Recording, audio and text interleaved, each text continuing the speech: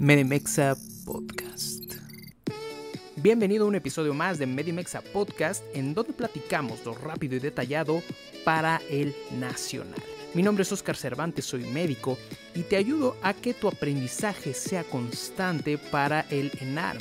Esto es un podcast médico enfocado específicamente en este episodio en temas para el nacional. Recuerda que nos puedes seguir en nuestras redes sociales como arroba Medimexa y también en nuestro canal de YouTube como Medimexa Academy. Si te parece bien, comencemos el conocimiento.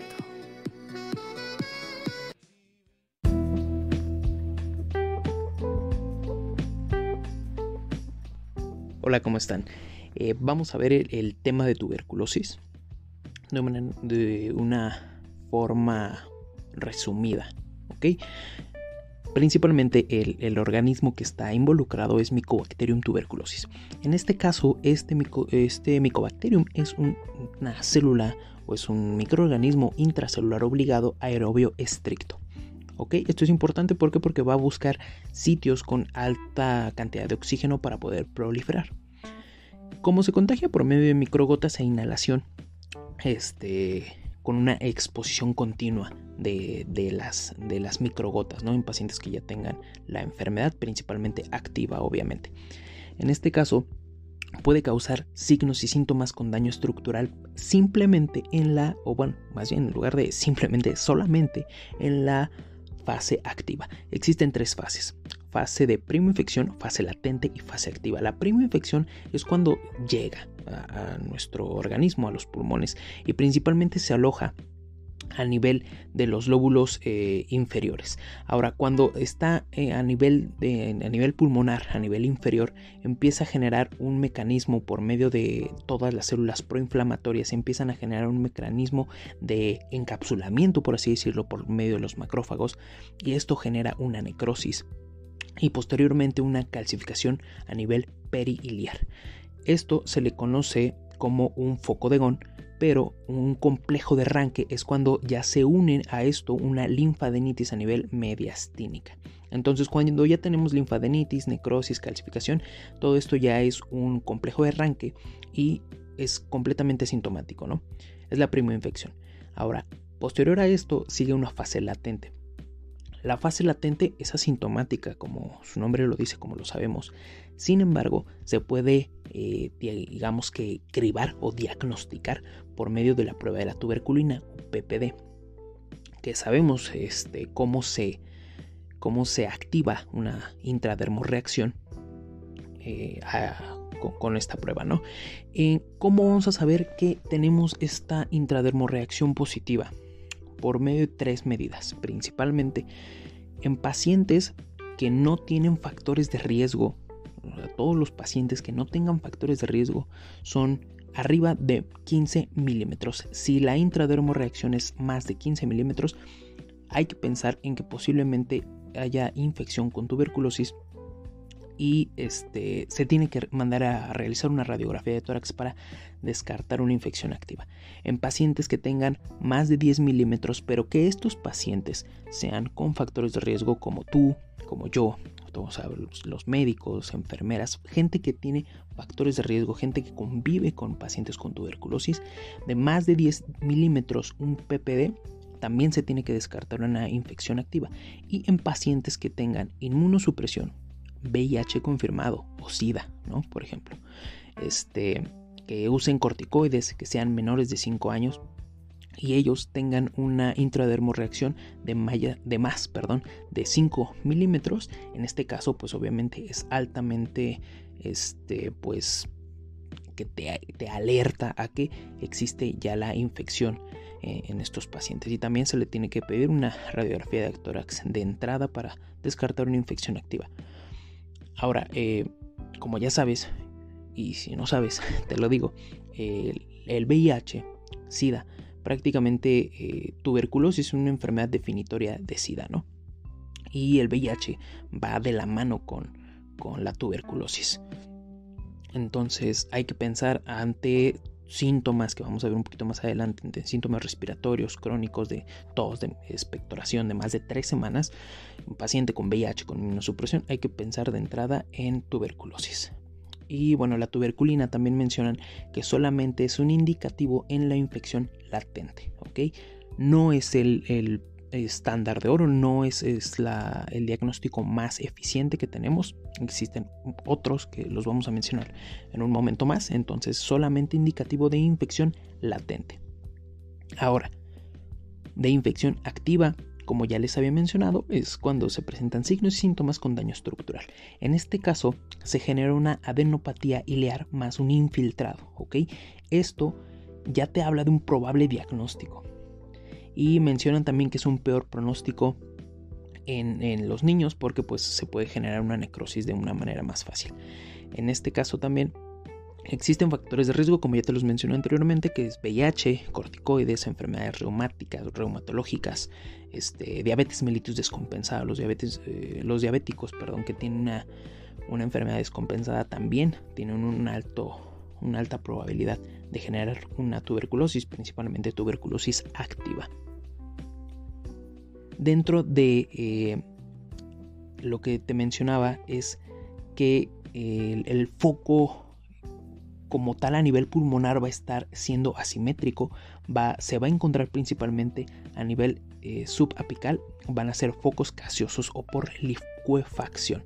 Eh, digamos que va a tener un relleno eh, cremosito, por así decirlo, en donde esos focos por liquefacción se van a, a ver afectados. ¿Por qué? Porque los múltiples caminos de, citocinas, las activaciones de citocinas, de macrófagos, la migración de macrófagos, todos los macrófagos que tienen encapsulados a Mycobacterium, empieza a haber una guerra completamente ahí y se empieza a destruir todo el tejido a ese nivel, ¿no? Y eso, obviamente, la liquefacción hace que haya una proliferación de los bacilos y esos bacilos van a estar siendo expulsados cuando el paciente tose y pues es la infección activa es cuando hay una mayor prevalencia o cuando hay un mayor riesgo eh, en lugar de prevalencia cuando hay un mayor riesgo de, este, de la infección hacia otras personas. Ahora la clínica. Para hablarte de la clínica es importante que veamos si el paciente tiene eh, unas defensas disminuidas o a nivel inmunológico se encuentre inmunodeprimido que puede tener desnutrición diabetes descompensada, como te lo mencionaba, tabaquismo, este, neoplasias, VIH, eh, alguna enfermedad reumatológica. ¿Cuál es la clínica? Tos y expectoración, pero no es una tos y expectoración que nada más te dura dos días, tres días. Es una expectoración, una tos crónica, en donde menciona la guía de práctica clínica, si mal no recuerdo, que son más de tres semanas. Cuando son más de una tos de más de tres semanas de evolución, es indicativo de que te puede hacer pensar un poquito más en, esta enfermedad, ¿no? Además de que la tuberculosis es ampliamente conocida y es muy, muy frecuente en nuestro país. Otro de los síntomas puede ser anorexia, pérdida de peso, de más de 10, 15 kilos en algunos meses, diaforesis nocturna. Todo esto conjuntado es como te puede venir un caso clínico. Entonces, si tú piensas en, cómo, cómo, puedes diferenciar ¿no? una enfermedad tal vez intersticial o tal vez una neumonía o tal vez una tuberculosis, si tienes estos datos principalmente, eh, deberías de pensar más en una tuberculosis tos, expectoración crónica de más de tres semanas, anorexia, pérdida de peso, diaforesis nocturna y algún eh, antecedente como de los que ya te mencioné anteriormente. Ahora, este, a nivel de, de las lesiones que van a estar presentándose, hay uno que se llama, bueno, que se denomina tuberculoma, que se denomina como una, una fase de resolución que va a presentar una calcificación podemos tener diferentes signos o patrones, por así decirlo, a nivel radiográfico, en donde vamos a tener un foco gaseoso, en donde el foco gaseoso una vez que se empieza a degradar todo este todo este desmadre a nivel pulmonar, ese foco gaseoso va a estar generando que los macrófagos este, pues ya no puedan contener la infección ahí y los vacilos estén volando para todos lados, ¿no? Este, y esto es importante ¿por qué? porque una vez que ya se deja de contener la infección, vamos a tener eh, infecciones diseminadas. Entonces un foco gaseoso que puede también generar, dar paso a una caverna apical y esto, este, la caverna apical pues es clásica de, a nivel, eh, a nivel radiológico, ¿no? Entonces, el complejo de GON, que ya te lo había mencionado antes, es un complejo de GON es cuando tenemos neumonitis más linfangitis más adenitis.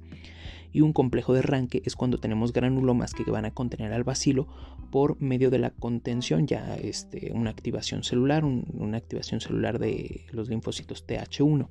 Entonces es un complejo de, de Ranke, un complejo de GON. Y a nivel eh, radiográfico, pues es lo clásico, ¿no? Ya sabemos este, que se pueden ver cavernas, una, múltiples, principalmente a nivel apical, ¿por qué? Porque son las zonas más aereadas eh, de los pulmones y como es un, eh, un microorganismo que es aerobio estricto, tiende a buscar las zonas más aereadas de, de nuestros pulmones. Como tal, la clínica te la van a estar dando eh, como ya te había mencionado anteriormente, una infección va a ser infecciosa en donde te va a llevar que, se, que se realice una activación o una reactivación de la, de la infección en donde en los segmentos apicales se van a ver principalmente afectados y posteriormente a nivel de los lóbulos superiores.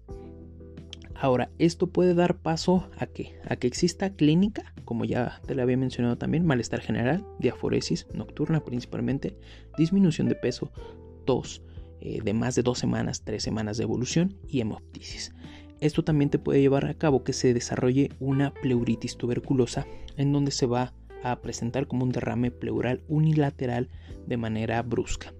Ahora, dentro de las enfermedades que se pueden encontrar en múltiples sistemas se dan por qué porque eh, como ya les había mencionado ya no existe una contención de los macrófagos a nivel pulmonar de los bacilos y estos empiezan a migrar por medio de la vía hematógena y principalmente por esa zona de licuefacción obviamente va a estar irrigada y empiezan a generarse una migración a ese nivel. Ahora, ¿cuál es la primer zona eh, la primera zona que se va a ver afectada, el primer órgano que se va a ver afectado va a ser los ganglios. Los ganglios es la primer, eh, el órgano, el principal órgano que se va a ver afectado a nivel extrapulmonar. Tuberculosis miliar es una diseminación hematógena que es como tal patognomónico de que existe eh, tubérculos a nivel del coroide ovular y se van a estar viendo a nivel radiográfico como un pan, como un aspecto micronodular en pan de, mijo, ¿no? Son muchos, muchos, muchos puntitos a nivel de la, de la radiografía. Una meningitis también se puede derivar por una... Eh, por, por tuberculosis, perdón, y esta meningitis tiende a ser subaguda con parálisis de los pares craneales, principalmente oculomotores, y tiende a dar signos meningios el líquido cefalorraquídeo se va a encontrar alterado porque va a haber linfocitosis, aumento de proteínas, disminución de glucosa y también puede existir eh, aumento de la presión de apertura. Es una, la meningitis por tuberculosis tiende a ser subaguda. Y el sitio, el principal sitio de diseminación, como ya te lo había mencionado, es a nivel ganglionar. En este caso, en cuello se considera como eh, si lo consideramos como un órgano, ¿ok? A nivel ganglionar sí lo consideramos como un órgano. Si no lo consideramos como un órgano, el sitio más frecuente de tuberculosis eh, generalizada, extrapulmonar principalmente, no generalizada porque generalizada sería la miliar, eh, a nivel extrapulmonar sería la tuberculosis genitourinaria. Ahora, la tuberculosis genitourinaria se considera como la extrapulmonar más frecuente porque esto sí es un órgano, un sistema. Este, es la más frecuente y en este caso eh, llega a presentarse piuria estéril, hematuria, tiende a ser más común en hombres y en los hombres eh, llega a generar esterilidad por una estenosis uretral y pues también llega a generar un síndrome cístico. También puede afectar eh, la tuberculosis a nivel óseo generando una espondilitis en donde va a estar generando eh, una alteración de los cuerpos vertebrales con aplastamiento y se va a denominar como enfermedad o mal de Pot. También puede generar una pericarditis. En este caso, la pericarditis va a ser eh, generada por contigüidad y también este, puede afectar al sistema cardiovascular. En cuanto al tratamiento, ya te hablé qué es, cómo se relaciona, cómo es la clínica, pero vamos a platicar un poquito del tratamiento. El tratamiento van a ser prácticamente dos eh, esquemas. Uno es eh, un esquema en fase intensiva y un esquema en fase crónica. El tratamiento en sí va a durar seis meses. Los primeros seis meses va a ser por medio de cuatro fármacos y los cuatro meses restantes van a ser por dos fármacos. Entonces lo podemos aprender como el primer esquema, que es una fase intensiva, va a ser 2 por 4, 2 meses por 4 fármacos. Y eh, los segundo, la segunda fase, que serían los 4 meses restantes, serían 4 eh, meses por 2, 4 por 2, 4 meses por 2 fármacos. ¿Cuáles son los 4 fármacos que se dan en la fase intensiva de los primeros dos meses es isonicida, rifampicina, piracinamida y etambutol, que seguramente ya te lo sabes, que seguramente ya, ya los viste desde cuarto, quinto, sexto, no me acuerdo cuando se ve eh, tuberculosis por primera vez en la carrera. Y seguramente ya los he escuchado mucho, ¿no? Pero eh, específicamente para, para el ENAR, no nada más te van a decir, oye, ¿cuál es el, tratamiento? ¿no? ¿Qué, le damos a un paciente que tiene tuberculosis? Este, ¿Le damos isoniazida? ¿Le, damos rifampicina? En México, eh, este tratamiento no se vende. El tratamiento es gratuito y prácticamente se da en cualquier centro de salud. No sé si lo has visto, es una pastillota de este, enorme, es una pastilla enorme roja. Y este y en sí como tal es un tratamiento estrictamente eh, supervisado. ¿Por qué? Porque la principal, el principal método para que falle este tratamiento o la principal causa para que falle este tratamiento es que no tiene un buen apego. El hecho de que el paciente no tenga un buen apego al tratamiento es la principal causa de falla del tratamiento de la tuberculosis y también te puede llevar hacia una tuberculosis resistente. Entonces, eh, es un medicamento gratuito, viene junto, vienen los cuatro principalmente, este, isonicida, rifampicina, piracinamida y etambutol, aunque también por ahí se conocen algunos otros fármacos como streptomicina, ¿no? En, algunos casos, pero hablándote específicamente de estos cuatro, ¿qué, ¿qué es lo que te pueden preguntar principalmente? Vamos a ver uno por uno. La isoniazida es el tratamiento de base este caso, la isoniazida es un bactericida que va a estar inhibiendo los ácidos micólicos y nucleicos. Y también en, algunos, eh, en algunas literaturas también lo consideran como bacteriostático, que tiene algunas funciones bacteriostáticas, pero es principalmente bactericida. Dentro de los efectos adversos que les encanta preguntar efectos adversos del tratamiento eh, acortado, del tratamiento estrictamente supervisado, que es el TAES, o estos cuatro. Efectos adversos de la isoniazida es eh, un que tiene ese hepatotóxico que tiende a generar neuropatía periférica.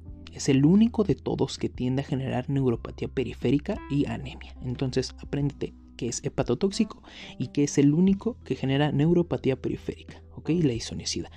Vamos a ver el otro que es la rifampicina, que también es el tratamiento de base, que también es un bactericida, pero la rifampicina va a estar inhibiendo la síntesis de RNA por medio del citocromo P450. En este caso, puede tener una interacción por medio de la inhibición del, citocromo, puede tener una interacción con fármacos antirretrovirales y por eso en algunos pacientes llegan a presentar eh, alguna sintomatología cuando son VIH positivos y tú les empiezas a dar este tratamiento. ¿Ok? Que ya había hablado de esto un poquito en VIH. Este, ¿Cuál es el principal efecto adverso? Es la hepatotoxicidad, que también va a ser potenciada por la isoniazida. ¿Ok? Piracinamida es el tratamiento también de base, es un bactericida, actúa eh, a nivel de eh, la interacción con los macrófagos y el principal efecto adverso es la hiperuricemia. Y el etambutol, en este caso se da porque para inhibir la resistencia bacteriana y porque se considera como un eh, bacterio estático o un tubérculo estático, si se puede denominar así, pero es un bacterio estático, ¿no? Este, el etambutol va a estar inhibiendo la síntesis de la pared celular y em, disminuye eh, las dosis, eh, bueno, más bien disminuye su eficacia en pacientes que tienen insuficiencia renal. El principal efecto adverso del etambutol es la neuritis óptica. Y va la neuritis óptica, ¿cómo la vas a saber? El paciente no te va a decir, doctor, tengo neuritis óptica.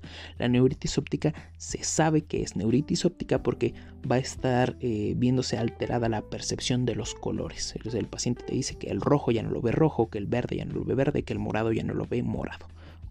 Eso te puede orientar más a que sea una neuritis óptica. Y eh, vamos a ver algunas cositas que son como eh, importantes, considero. Cuando, cuando das eh, tratamiento, en este caso que sea en excepciones, VIH y silicosis, ¿ok?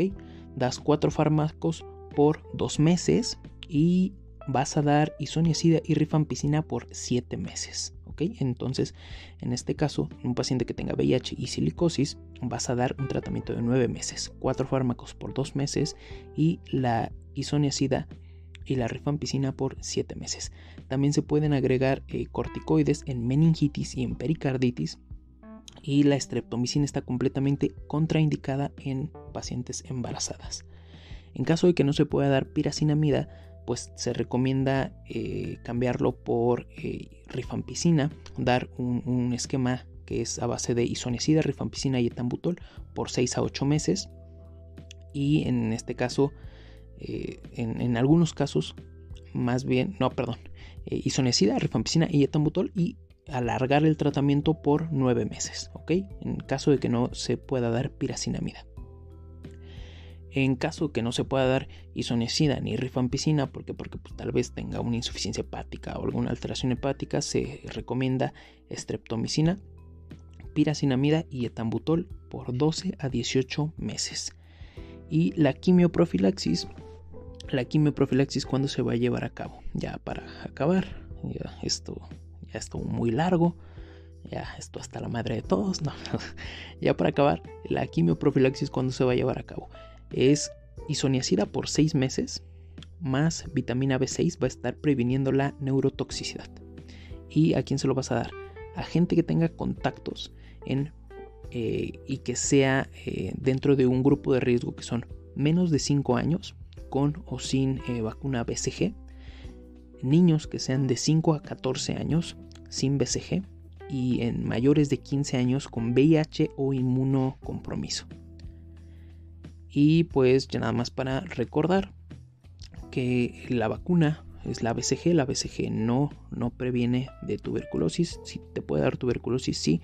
Lo único que va a prevenir es que se genere una forma grave, una meningitis diseminada, una, una forma grave de la enfermedad, una principalmente una, tuberculosis miliar o una meningitis tuberculosa. Eso es lo que va a prevenir la BCG. Cuando se aplica la BCG al nacimiento, dosis única al, al nacimiento a los 0 meses.